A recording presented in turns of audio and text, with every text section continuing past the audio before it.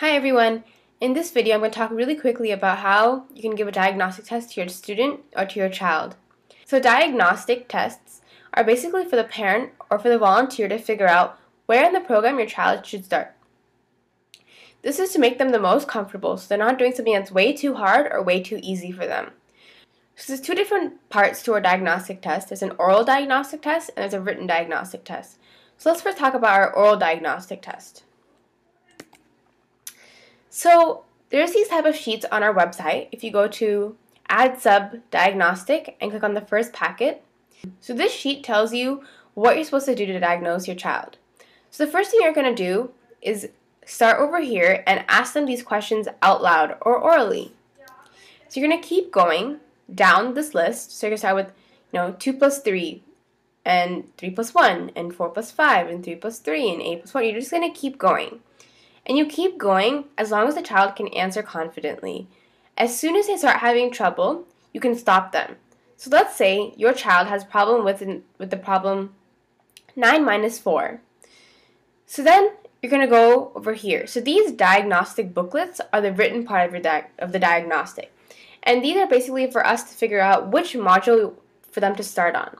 So this diagnostic packet um, is split into three different modules as written here. Sub 0 through 5 to 0 through 5, sub 639 to 0 through 5, and sub 639 to 6 through 9. So in other words, it's basically one digit subtraction, and it's very basic. Um, another thing you can see on the sheet is that these problems correspond to this module. So really, just from the oral diagnostic, you can kind of figure out which module you want them to start on. But we give them a written diagnostic because sometimes it's easier, easier for them to see the problems written down and to do them. And also, we want to give them some problems that are a little bit easier and a little bit harder to see exactly how far they can go. Especially because these four oral problems don't cover the whole range of problems that are covered in these modules. We really want to make sure that they know their stuff. So, um, once you figure out that your child has some problems, let's say with this type with these type of problems, you go here and you find this diagnostic booklet, which is Add Sub Diagnostic Sub 1D, and then you can go to our website and um, these are all the modules on our website. And you can go down until you find Add Sub Diagnostic. And then you can pick the right one, which is in this case Sub 1D. And you can print that out.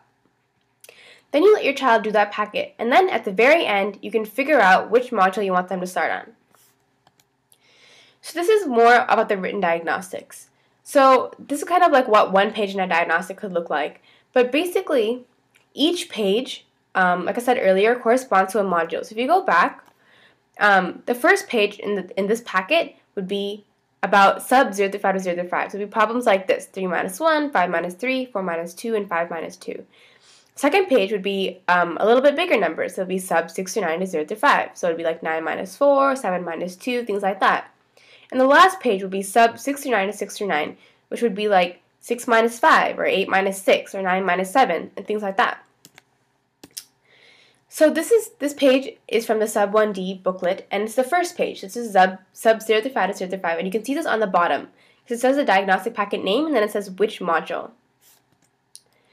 So um, as the as a child is doing these packets, we ask that you watch over your child. So if they're struggling, please ask them to stop. And this is really important because we don't want them to feel inadequate. And um, these problems get harder as the pages go on. So it's really not necessary that they have to be able to complete the entire packet. Really just trying to see how far they can go. So let's say your child stops at this page, you know, whether let's say they're having trouble with some of these problems. So you can go down look at the bottom of the of the packet, and here you'll see add sub diagnostic sub 1D sub 0 through 5 to 0 through 5.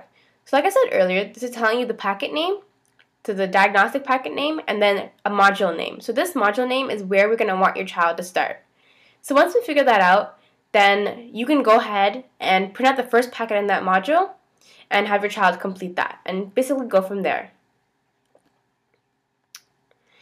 So that's about all there is for diagnostics. Um, hopefully this clears that up and let me know if you have any questions. Thanks.